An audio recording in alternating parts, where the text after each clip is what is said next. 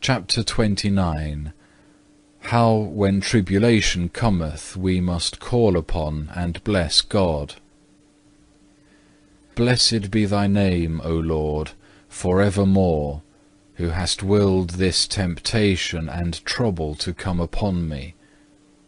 I cannot escape it, but have need to flee unto Thee, that Thou mayest succour me, and turn it unto me for good. Lord, now am I in tribulation, and it is not well within my heart, but I am sore vexed by the suffering which lieth upon me. And now, O dear Father, what shall I say?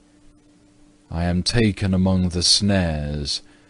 Save me from this hour, but for this cause came I unto this hour.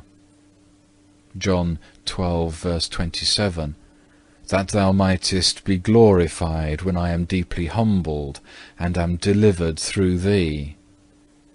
Let it be thy pleasure to deliver me. Psalm 40, verse 16. For what can I do, who am poor, and without Thee whither shall I go? Give patience this time also. Help me, O Lord my God, and I will not fear how much soever I be weighed down.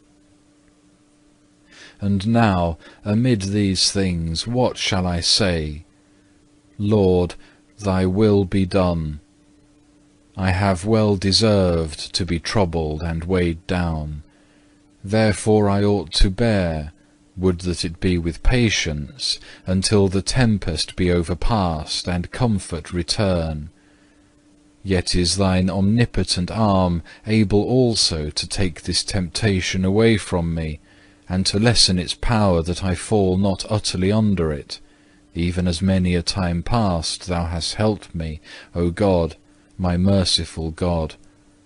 And as much as this deliverance is difficult to me, so much is it easy to Thee, O right hand of the Most Highest.